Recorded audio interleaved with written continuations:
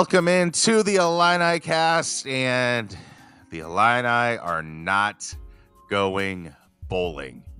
It's kind of ironic, Sunny. I am recording this. Uh, had some business meetings out here in the state of Indiana, and ironically enough, I am staying in the city of Indianapolis as we speak. The week of the Big Ten championship, something that I thought that Illinois would be playing in during the preseason, and they aren't even going bowling right now, Sunny. So, welcome into the Illinicast, Austin Berkel and Sunny Verma alongside me. And Sunny, no bowling, no uh no Big Ten championship, just sadness. Uh sadness all around. Uh, you know, we definitely expected the season to go uh, a slightly different way, and uh, to finish the season with five wins is, you know, not exactly what we wanted, but I think the sting of losing the type of game that we lost to our rival uh, on Saturday makes things a little bit worse. And uh, yeah, I mean, there's there's no way to sugarcoat it. You know, it's just a very somber mood uh, in Illini world right now. I mean, if you could capture the essence of the Illini football season, it might be within the confines of that 60 minutes of play in Northwestern, where there was big time flashes, but a lot of moments where you're like, we got to climb up this hill again, like, and again and again. And then the officials came in and decided the game on, on that two point conversion there. Um, so pretty much Brett Bielema has been complaining about the referees the entire season. The refs kind of cost Illinois the game at the very end.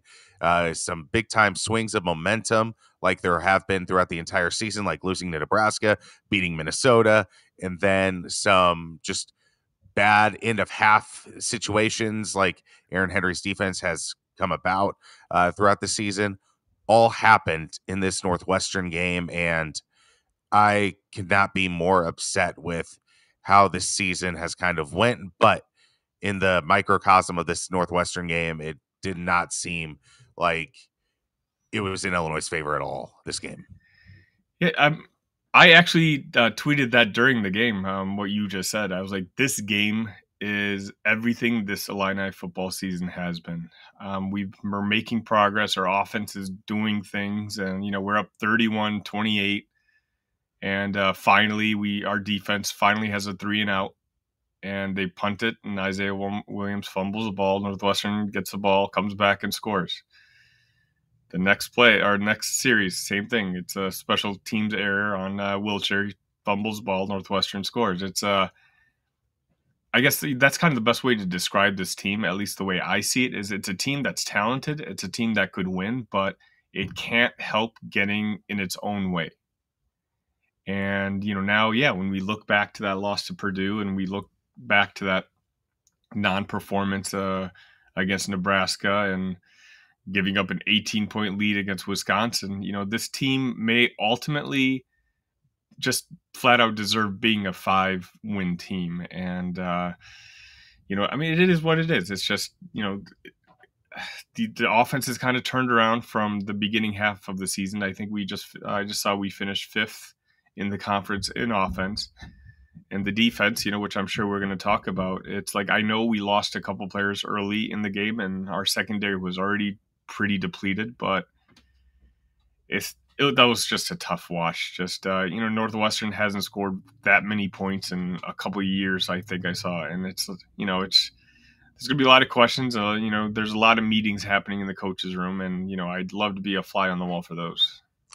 I mean, it didn't happen early on in the game, those special teams errors, but it was very reminis- reminiscent of that Purdue game where you lost the ball deep in your opponent's territory and it was easy for the other team to score. It was the scoop and score, I believe, on on one of them, I, I think, but it was just like when Illinois had a chance this season, it just didn't take take those opportunities and run with it. There was mm-hmm. always that mental miscue. There was always that fumble. There was always that penalty. And this season and in this Northwestern game, it, it was kind of the amalgamation of all of that. And you kind of have to reap what you sow at some point, and that's kind of what Illinois had to do at the end of that Northwestern game. It's kind of ironic, like you know, obviously this Northwestern team, we all had dubbed to win two, maybe three games. But then I was watching, you know, the game on Saturday, and it's like that Northwestern team that I saw on the field is kind of the type of team I want for Illinois, and that's it wasn't supposed to be that way. It's a team that's a little under talented, but they played like hell for their coach. You know, they limited their mistakes. And you know, you know, all hats off to David Braun. He, you know, obviously he just won Big Ten Coach of the Year, and you know he fully well deserved it. You know, it's going to be an interesting offseason uh, moving forward with Braun, and I want to see how well he's going to recruit at this level, how well you know he's able to retain his coaching staff. You know, they're all Fitz's guys, uh, to my knowledge, but uh, you know, when it comes to just a singular season, I think this is one of the most incredible jobs I've ever seen uh, in my years of watching uh, college football, and it's just a shame that uh, you know we were caught in it too. It's like this is what I want us to aspire to be, and that's crazy to think about because we're in year three, and this was a guy who's handed a job by force who had never had a Power Five job before. So I mean, that's the beauty and the whatever of sports, I guess. I mean, if you would have told me before the season that Illinois would have the Big Ten Defensive Player of the Year for the first time since the year I was born, 1994, and you would have the only Big Ten West player on the first team offense in Isaiah Williams, I would have been like, "All right, let's get the Rose Bowl cannons out right now. Let's let's go to Indianapolis. Let's do all of this." But football has proven itself to be a team game, and the offensive line has had its issues. The defensive secondary has had their issues. Special teams, including that offensive first team player, has had some issues um, in just keeping the ball on the return team. And the guys that did their jobs uh, did their jobs pretty well, but there were also some guys that kind of struggled in the moment, uh, including in the Northwestern game. Yeah, it's like you know, I love to see Isaiah Williams get that, you know, uh, passing touchdown to uh, I forget who was the one who caught the ball, but I was uh, talking to my wife at the time who was just half paying attention with me, and I was like, you know, if this is Isaiah Williams' last game, there's kind of like a po- poetry to him getting a passing touchdown because that's what he had wanted to be uh, coming into Illinois uh, was a quarterback, and so I was really excited for him, really happy for him, and then not three four minutes later, you know he he fumbles that uh, that punt, uh, punt attempted punt return, and you know that's just kind of like it's just a trait of his, something he's like always needed to work on. Now, whether this is going to be his last game for the Illini, I don't know. Um, I haven't heard anything one way or the other, but I really hope that you know, with all the money that's uh, being freed up with Newton and Randolph uh, deciding that they're going to the next level, I hope we can convince him to stay one more year, basically break every Illinois wide receiver record that there is. And because uh, I, I, I, don't know, I haven't seen any mock drafts of him being drafted, or I'd imagine maybe he's like a late round pick because he's not exactly super fast. He's obviously not a big guy, and sometimes he has hands issues, as we can see on special teams. So yeah, you know, it's just uh, it, it's unfortunate for him. It's great for Casey Washington to have a send off game like that. It's like we were all always kind of waiting for that and to be able to have 200 yards and that last well uh, that last play where he uh, you know scored for a to essentially attempt to try to tie the game was incredible. You know, one of the loudest screams I've had all season long. So, you know, it's it's it's I don't know. I, I mixed feelings. You know, it's it's mixed feelings about the game, mixed feelings about the season, all around. I mean, at the end of the game, like I think a lot of guys just start to look at their next chapter and don't even think about like coming back, especially after a game like that. So I, I think we got to let the dust, set, dust settle a little bit. Got to let uh, the right conversations to be had. Like, because I mean, there was a point last year where Jer'Zhan Newton was clearly NFL bound, and then he came back. So um, I, I think that Isaiah Williams might be in that kind of mindset where he's like, "Oh, we were five and seven. I just want to think about my next move." Like, even though that might not be the best move. So I think the chips have to fall, and I think Icon is going to have a lot to say about what happens with Isaiah Williams. And I think Isaiah Williams has got to look himself in the mirror and say, Am I really an NFL player right now? Are there things that I have to clear up? Yes, the stats were pretty sexy. I mean, being number two in receptions to Maserati Marv, as Gus Johnson likes to call Marvin Harrison Jr. I mean, that's a huge, huge thing for an Illinois receiver uh, to to happen. Like, I mean, last receiver we've had with that kind of skill is probably Arrelious Benn back in 2007. So I, I think that Isaiah Williams just got to take his time, and I think I I really think that he'll be back. I mean, you don't want to go into that undrafted wide receiver world. I mean, there's so many wide receivers coming up anyway. It's so mm-hmm. easy to get lost in the shuffle, like even if you're on a practice squad in an NFL locker room. So I think it would behoove him to come back for sure. But looking at this Northwestern game, I mean, Casey Washington, uh, he was phenomenal. I mean, he was on Most on Monday Night Countdown. I mean, when was the last time an Illinois receiver has been on that? I mean, there's been plenty of times that I'm sure an Illinois defensive back has been on Most, but the opposite end of the spectrum, the end that you don't want to be on, getting Most. So, I mean, there was just so many positives in this game that I was just like hoping that Illinois could just capture that last second momentum and make that two point conversion and send the game into overtime with all the momentum at home. But it clearly just was not in the cards for this Illini football team. And you kind of look back at the season, it's like missed opportunities. That's the name of the DVD of this Illini football season, I think. Yeah, you know, now it's time to just kind of focus, uh, heal up, you know, get Kaden healthy. Um, you know, just to kind of circle back on that Isaiah Williams uh, conversation. I'm sure we're going to have a future episode um, looking more in depth about you know what our future roster looks like. But on just from a broad view, our offense actually looks like we're going to have a pretty solid offense uh, coming back next year. Our offensive line played better and better, you know, as the season progressed. Obviously, we'll have a, a redshirt junior year, Luke Altmyer, uh, Feagin, uh, Reggie Love. Uh, we've got a couple young, you know, Khalil uh, Valentine, a four-star running back uh, in the running back room. Um, Malik Elzy has essentially announced that I think I think that's what that uh, post signified to me that he's coming back next year. So you know, we if Isaiah Williams slots into that wide receiver spot, we're going to have a pretty sound offense, and so you know, as we talked about, you know, if someone's if uh, Isaiah is being uh, projected to be an undrafted free agent in the NFL, I would think that the opportunity to you know get some pretty good numbers, maybe a repeat uh, Big Ten All Conference uh, award at the end of the season, might be appealing to Isaiah. But uh, you know, I mean, that's conversations I'm sure he's having having with his fa- uh, family, his coaches you know, it's uh he's got to go through the whole process first, but you know, as a lot of players do. But you know, it is what it is.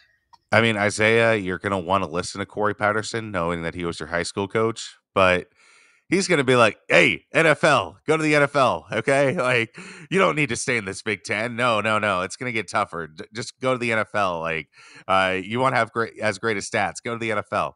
Remember, Cory's got his own issues. Did you see? He is many- the Purdue coach now, Isaiah. Just got to remember that. Did you see how many players they've already lost in the transfer portal? Have you been paying? Oh my gosh, yes. I mean, yes. they're gonna have to reload like an entire offense at this point. I think their three best receivers are gone.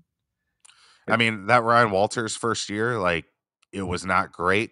Um, they obviously beat Illinois, but this is where you really get your coaching dollars here is that second year and that third year. That's when the challenges really start to become alarming because Jeff Brohm didn't leave the cupboard that truly empty ish. Um, but now it's that cupboard is barren at the moment. And we'll see now how good of a real head coach uh, uh, Ryan Walters is. Can he develop players? You know, he, he's got a pretty good recruiting class coming in. They've got you know more four stars than they ever had in the Brohm era. But now we're going to kind of see if Ryan Walters is just a defensive X's and O's guy, or if he's really an all around head coach. Uh, you know, in two years, like, are they going to be coming back and winning, you know, more than half their games or not? But it's going to be tough. You know, they, they, they, as you said, they got a difficult a road ahead of them as well. I mean, the lumps of all of these Big Ten West teams, I know RIP Big Ten West after Saturday, but there's a lot of question marks on every single one of these Big Ten West programs with these four new teams coming in, and it's going to be fascinating to see. I mean, Minnesota, uh, Artur uh, Kaliakmanis, he is transferring out of the out of the Minnesota Golden Gophers program after a five and seven year. Uh, Luke Fickell at Wisconsin. I mean, they were selling two dollar tickets at the end of their season. I mean, Nebraska Matt Rhule's talking about paying a $1.5 million for the best quarterback in NIL. Like, that's kind of what the going rate is. He's saying, like, the question marks on all these Big Ten West teams, and there's no Big Ten West safety net anymore. It's going to be put up or shut up time for a lot of these coaches, including Brett Bielema at Illinois, because he has his own question marks to answer.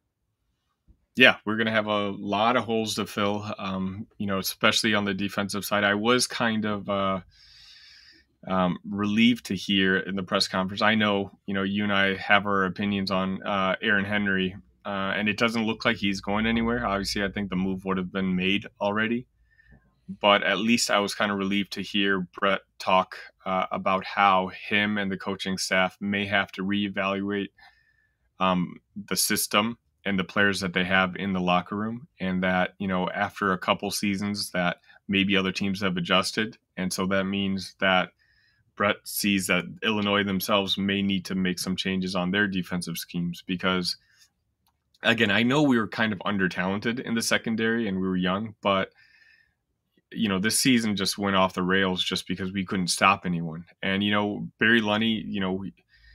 I think we averaged like 405 yards the last five weeks of the season, something along those lines, and that includes a game against Iowa.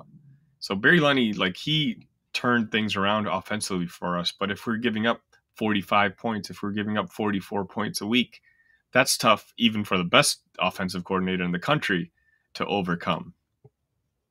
Yeah, I, I think we need some athletes at the linebacker position for Illinois because the lack of aggressiveness, the lack of sacks, the lack of pressure on any of these quarterbacks that Illinois has played this year outside of a guy by the name of Jer'Zhan Newton, it's just been horrendous uh, by Aaron Henry, and I think it's a combination of X's and O's and Jimmy and Joe's.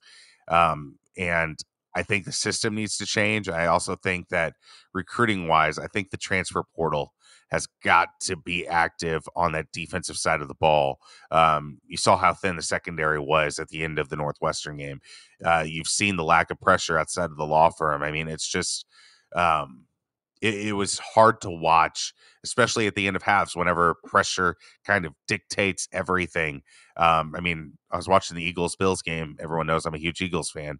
When Buffalo decided we're not going to send pressure on Jalen Hurts at the end of the game in overtime, Jalen Hurts was able to carve up that Buffalo Bills defense. And it was very similar to watching Aaron Henry's defense at the end of halves this year for Illinois, where there was no pressure, where it was all about letting the secondary do its thing. But whenever you have a inexperienced secondary, that's not going to go well for your defense, especially in an offensive powered college football. So I I think that some things have got to change, especially on the defensive side of the ball and getting pressure on the quarterbacks. I, I completely agree. Um, I'm interested to see what Seth Coleman decides to do. I know um, the law firm has decided that they're going to go to the NFL draft, and obviously, you know that's probably the right decision. Um, Seth Coleman's got a decision to make. I do think if he can decide to be the focus point of the defensive line, um, you know, he can make himself a little bit more money uh, for next year's draft. Obviously, we got um, you know, we've had a pretty good recruiting week, surprisingly, um, since that loss to Northwestern. Um, one of the guys being um, the nation's top uh, junior college defensive lineman. Um, what's his name? Daniel Jones, I believe it was. Yep. He, he led the um, country in sacks with like 17 and a half sacks, I believe. So, you know, hopefully his skills and size can translate to something on the defensive line because, like you said, we're going to have a lot of holes to fill uh, on the defensive side. And you know, I was reading an article and I just tweeted it out about how um, a certain person, like basically, it seems like teams that have more transfer players on their roster tended to fare worse than the teams that were kind of home built. And I kind of figured that where it was the case. So on a big you know, uh, macro level, Brett might have the right idea of saving some of that NIL money for uh, keeping guys in house and keeping the vibes good in the locker room. But I think we, you and I have been talking about this all season long. We have to that Brett has seen the results of this season and realized that he needs to make some adjustments. Uh, you know, like it doesn't have to be filling up the entire defense with transfer portal players, but figure out where our obvious lack of talent is, figure out where we're not at Big Ten level yet, and you know, pick and choose those spots. Go get some legit good players. Um, you know, build up that depth, uh, like you said, that we absolutely need to do, and you know, just you know, life is going to get a lot harder next year, and we're actually one of the lucky ones because our schedule is really not that bad uh, mm-hmm. compared to what it's going to look like the years after. So, you know, we got to maintain momentum. You know, we lost a significant uh, portion of it uh, this past season, but uh, I don't want to say it's lost yet. But if we, you know, win four games next year, uh, then all of a sudden, you know, questions are going to be asked about, you know, whether Brett's the, the right guy. I mean, if you retain Seth Coleman, if you move Gabe Jacas to that defensive line um, permanently next year, and I think that'll help fill some of those holes that Illinois had. And it's just all about adding that depth. Like Matthew Bailey went out and it just felt like the secondary lost all of its air out of the system. They're losing a one single guy in the secondary. So I think that is a huge uh, a, a huge issue there is that whenever you have one injury, that just derails everything. And I think that's kind of the separator between programs like Illinois and a program like Iowa and historically Wisconsin is that Wisconsin has like a great three star that they've developed pretty well. That's uh, second string that comes in and it's like the starter never left. Illinois, when one starter goes down, it's like, oh, we have a freshman that's a three star, haven't had a chance to develop him. Uh, so best of luck. We'll see what happens. And I think that's the next step for Illinois to get to as a program is just building depth upon depth upon depth. And that's the frustrating part where you just talked about how that's how uh, the Iowas uh, tend to be because that's what the national perception and our perception of what a Brett Bielema team is supposed to be. Mm-hmm. So, you know, for it to kind of fail so miserably this year, you know, eventually we found our running back. And then, you know, when he went down, you know, Reggie Love did have a good end of the season. And, you know, Aidan Laughery, you know, I'm excited to see what he has to offer next year. So offensively, like uh, we can get back to that Brett Bielema ball um, of, you know, keeping the defense honest with a running game. Luke, Luke, I think will get even better as a passer uh, next year because the offensive line, you know, if we can plug a couple holes, um, you know, should be at least average as opposed to the abhorrent disaster it was at the beginning of this season. But it's the mistakes, you know. It's like you know, mistakes. You, what is it? Is it a coaching thing? Is it a players thing? That's what Brett's really got to figure out because we didn't play. Making mistakes is not a Brett Bielema team uh, trait, and that's what we need to figure out uh, this offseason more than anything else. Because we're never going to be, we're rarely going to be the more talented team on the field next year and moving forward uh, in conference games. So the the way for Illinois to win is going to be the one who doesn't make mistakes to capitalize on the other team's mistakes. I mean, and I'm pretty happy with the way that uh, recruiting has gone recently, especially with Khalil Valentine. You can have a fire and ice with Kaden Feagin in that running back room, a a powerful runner in Kaden, and then a guy that can swing at swing it out, run to the outside like Khalil Valentine, and then Illinois got four star offensive line transfer Andrew Dennis, and uh, not transfer, but rec- high school recruit.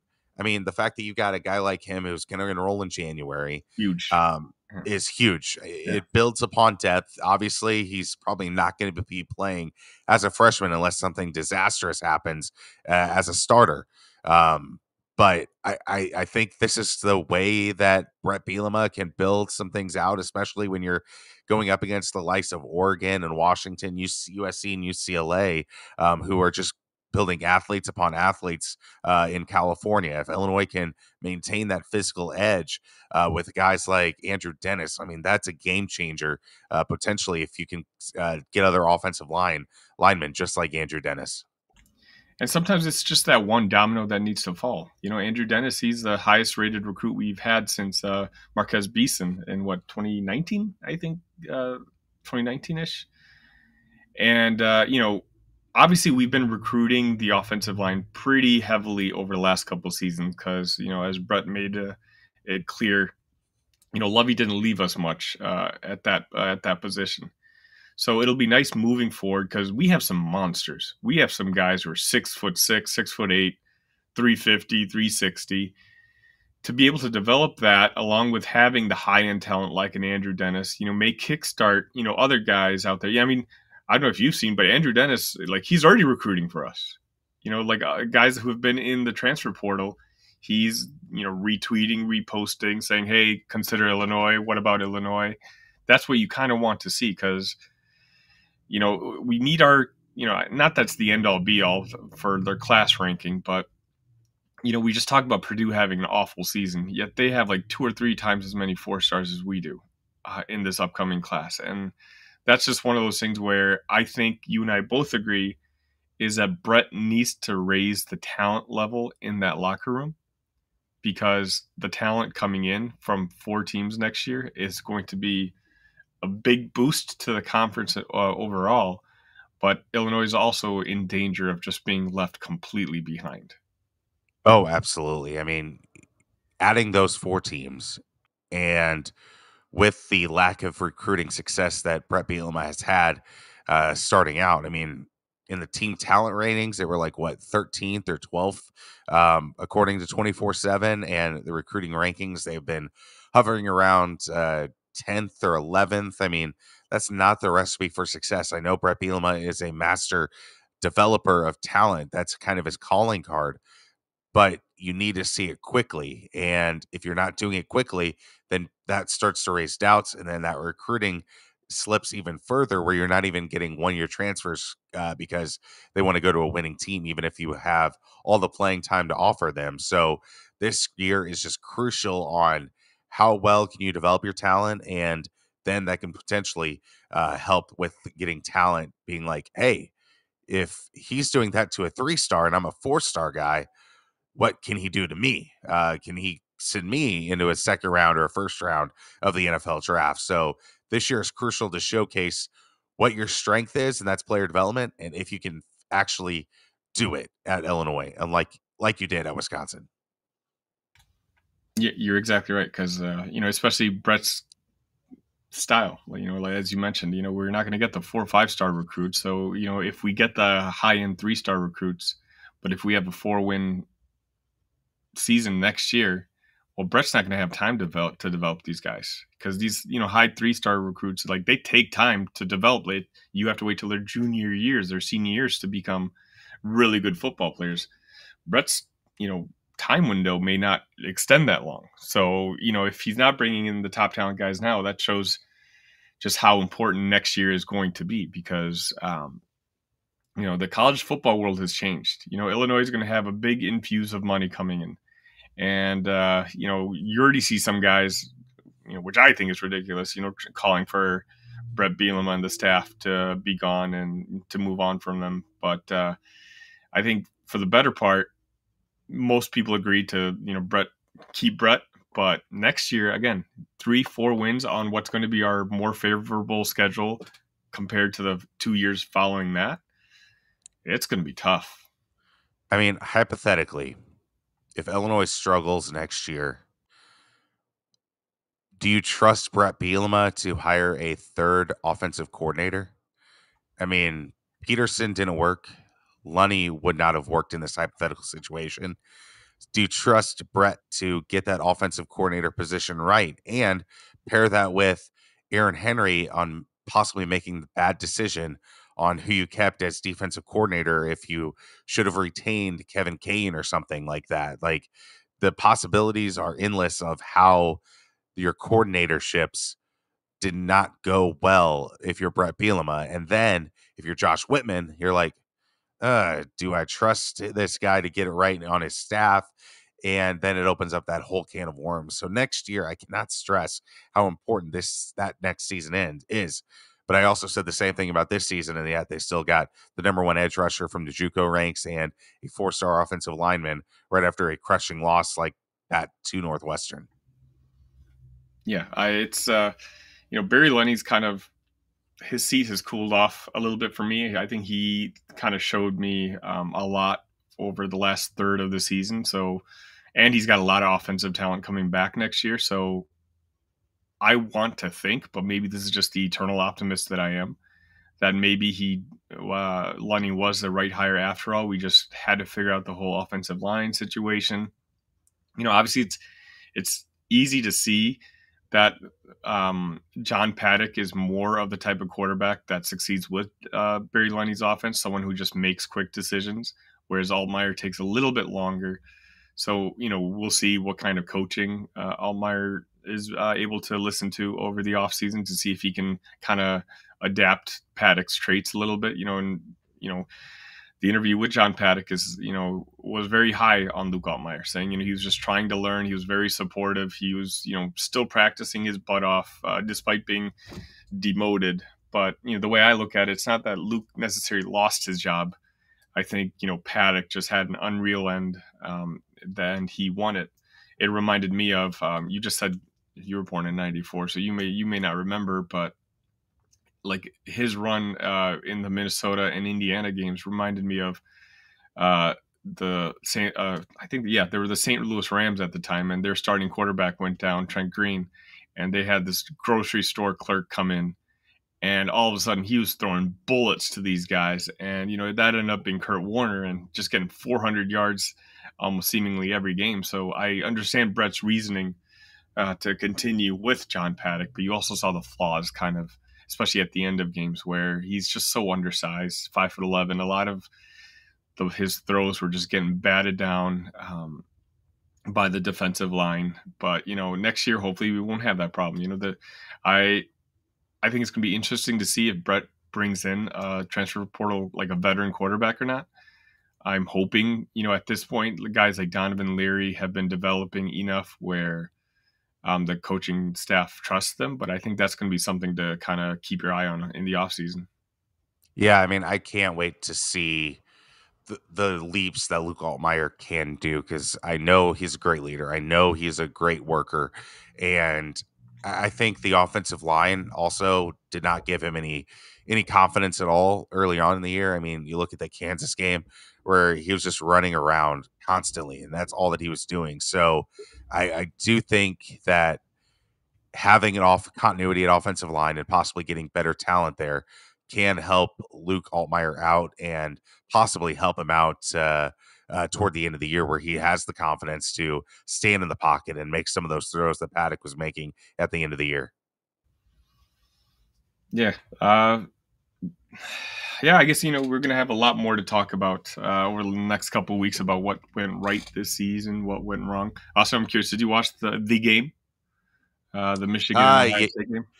Yes, I did. Um, and I was cheering for Ohio State because I don't cheer for cheaters. And um, I'll tell you what, that Michigan team, regardless of the sign stealing, is a very talented team. And um, like I saw some tweets that were like, "This game in the big current Big Ten is all about who's going to go to the college football playoff. Next year could be who's winning eight wins or nine wins." After seeing Michigan and how they are as a program, they are near the top of college football right now. I know Georgia and Alabama are always going to be one and two, but I think Michigan might have that third spot almost locked down at this point with Ohio State running this far behind at number four. I mean, it's just incredible to see that program in the Big Ten with the lack of athletes that are in the Midwest where they can just recruit anywhere in the country and including the South and steal some talent away from the likes of Georgia, Miami, Alabama. The list goes on.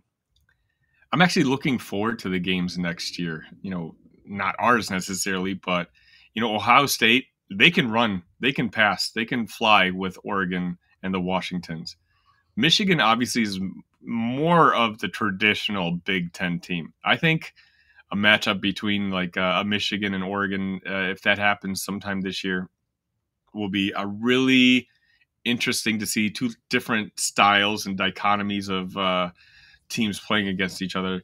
obviously Michigan next year is going to be reloading a bit. I saw that they had something like 17 uh, seniors on that team, so they're you know a senior laden team. But yeah, the way they've got that program humming, you know, uh, if Jim Harbaugh decides to leave for the NFL, you know, Sherrone Moore, he had, you know, he was undefeated uh, and he beat their biggest rival. So it's like, I think they're probably just going to uh, hire him in house from what I've been uh, told by my Michigan friends. And uh, yeah, it's one of those where I didn't really have a rooting interest. Usually I root for Ohio State in that game, but I was kind of turned off by uh, Ohio State Twitter in the sense how they were so insistent that the only reason that they lost the previous two years was because of uh, the cheating scandal. So there's a side of me who's kind of enjoying watching Ohio State Twitter just kind of crawl back with their tail between their legs and having to acknowledge that no, that wasn't the only reason. Right now, as it is, Michigan is just the better program. I mean, if the refs spotted the football correctly four years ago, it might be a four year stretch where Michigan wins over Ohio State. I mean, like, I know Ohio State fans won't be wanting to hear this, but sometimes rivalry games just go through stretches where a team wins five in a row, and it has no bearing on the talent of the opposite coach. I mean, Ryan Day is one hell of a coach. Like, again, probably solidified himself as the fourth best program in the entire country. I mean, he's undefeated against every other team not named Georgia and Michigan at this point in his career. And it's so ridiculous. some Ohio yeah. State fans want him gone. Yeah. So I mean, it's like the Illinois Missouri game, like the arch rivalry basketball game. How many years have there been where how many stretches have there been where Missouri wins like six in a row and then Illinois wins eight in a row and then Missouri comes back and wins four in a row and these tides just happen for no apparent reason at all does not have anything to do with the talent on the actual field or court. It's just the way of the jungle sometimes and right now ohio state is licking its wounds right um, with how this rivalry is shaped up but I mean, you're going to be in that 12 team playoff every single year if you're Ohio State coming up next, starting next year. So just be patient. Eh, that win will come, and even if it doesn't come, you can still win the national championship with this with this 12 team playoff. Yeah, and you know it's something we're unfortunately going to have uh, an entire off season starting today to discuss because we're not going to have a bowl game, but hopefully we'll have you know continued to have more recruiting news. And i know signing days coming up and you know we'll keep everyone uh, updated on how illinois is kind of doing with the transfer portal who are we're going to lose. I think what december 4th is the big day for that. Um, we'll find out if there's any defections uh, people leaving or people coming in. Uh, you know should be an interesting but it's going to be a very important uh, off season for bret and uh, football yeah, Bret's done a great job of talent retention. I'll tell you that much. Like he has not had a lot of defections to the transfer portal, and so far that's continued. I mean, you haven't seen a rush of graphics made on Canva or Photoshop of a guy telling you that he's going to the transfer portal for Illinois, unlike Purdue. So, so far that Bret Bielema staple has uh, maintained at least through the early onset of this transfer portal season. Yeah, and uh, you know we'll we'll see what happens. December fourth, uh, you know we'll probably uh, try to have a episode out uh, before then. But uh, if we hear anything before that, you know we can always uh, get back on and discuss it. Absolutely, and we'll be also be talking to our big banter friends throughout the off season, especially Mike talk to Purdue uh, here about all of their defections and what the reasonings may be uh, in terms of their fan base. And uh, we'll cover Illinois to the best of our abilities uh, throughout this offseason. So, Sunny, it's been a great episode. I'm in Indianapolis, uh, but no Big Ten championship for me. I'm not wearing my orange and blue going into Lucas Oil on Saturday, unfortunately. But we'll trudge on possibly in the future. Probably not with Washington, Oregon, and the other two coming in, but we'll get there. We'll get we'll get somewhere at least. Um, Sunny, it's been a great episode. Thank you, Austin. All right.